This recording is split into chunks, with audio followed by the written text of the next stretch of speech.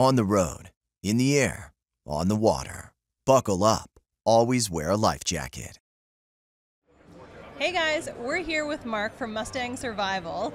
He's going to walk us through. I was just kind of curious, how would you go about recommending the right life jacket for somebody to wear if you're a sales rep in a store or otherwise? Yeah, it's a great question. Um, Mustang Survival has been around since 1967, and Okay. um, our big thing is saving lives. That is what is most important to us, and that's what the history and the core of our brand is. Okay. And so uh, there's a lot that comes with that, but you're going to see that our brand, there's so many things that we think safety-wise. Every piece of apparel has a kill switch attachment point in it um, for those red motor kill switches. Oh, okay. So we're a very safety-focused brand, and I think the most important thing is choosing a, a PFD or life jacket that is comfortable and that you'll wear all the time because if you're not wearing it, it's not going to do you any good. Right. And that's a big part of the conversation I have when I'm talking to customers Okay. is I'm saying, hey, whether it's another brand or our brand or one of our different versions, the most important part is that it's going to be something that's comfortable that you'll wear all the time.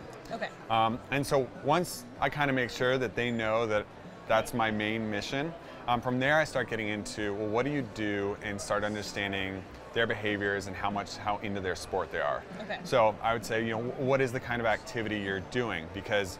Um, Mustang's very diverse in what we cover. We cover uh, very simple kids paddling on a kayak, Yep. all the way to people crossing the Atlantic Ocean in storms, survival gear. Okay. Um, so we got a wide breadth, but let's try to focus in there so down what say, you like to do. Let's say I'm a paddleboarder. Okay. So, well, oftentimes, even within paddling, you'll have difference between canoeing, kayaking, and stand-up paddleboarding. So, Right. okay, stand-up paddleboarding. We're going to be talking about a manual PFD, so one that would only go off.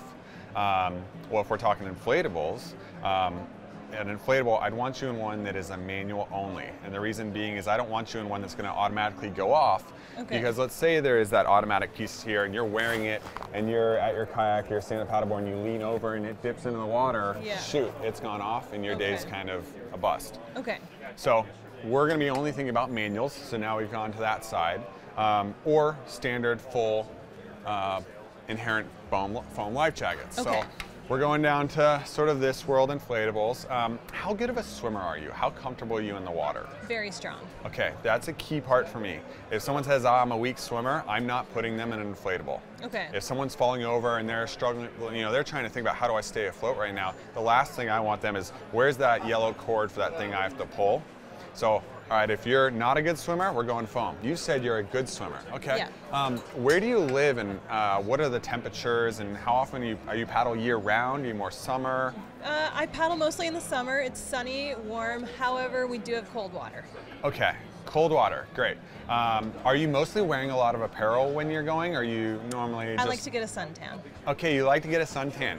You know, for suntan, a lot of people, I'm thinking you're going to want to wear something minimal. Okay. So we'd either be talking about like our little minimalist belt pack that I have right here, Okay. incredibly small, minimal. You're a comfortable swimmer, Yep. um, which probably means that if you needed this, you need it. Yeah. Um, where some people say, oh, I'm in the water and I need some buoyancy assistance, and so they might want something that happens a little bit naturally. But these two life jackets um, actually are going to give you the same amount of buoyancy 15.7, 16 Okay. pounds of buoyancy. Yep. But this one is going to, when it inflates, the sides open up. You're going to have that high reflective piece on there, a Okay. zipper, um, and that's going to give you a full around the neck support. Yeah. But you And said when you're. that's inflated, does it stay inflated? Yeah, so um, we basically recommend uh, our life jackets all basically have to lose less than 5% of air over 24 hours. Okay. Um, even then, sometimes you'll get into cooler water and the air will condense, and so that's why there's always an oral tube, is to be able to add more Top air or to release the air out. You do that through the oral tube. Okay. Um, so I'm that now. That could work. That could work, but I'm hearing you talk about tan lines. You Good know? point. I forgot So maybe you don't want that, and depending on how active you are, some people maybe they don't want something on their neck, that movement. So that we're really starting to hammer down into our belt pack area. Okay. I have three different types of belt packs. Um, I'm wearing the minimalist right now. We have one that has a few more pockets and other pieces. So are you bringing a lot of things with you, or are you, I know, hey, I'm just bringing my keys, I'm going for a quick paddle, or do you need to bring a lot of gear with you? You thinking snacks, nutrition? bar. Okay. Yeah, Maybe so. I don't have a pocket on this one, but Okay.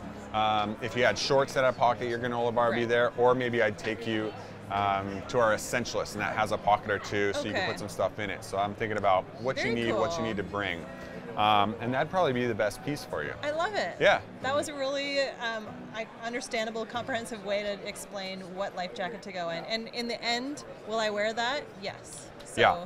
And uh, we put a super comfortable, soft fabric on the inside, so if you're not wearing shorts against your skin, that's gonna be really comfortable. Yeah. Um, so yeah, that's how I'd typically walk someone through and get them to the life jacket that I think is gonna be something that they're gonna wear all the time, um, that they don't even think about. It's not a big hassle to wear. Love it. Yeah. Thanks so much, Mark. Absolutely.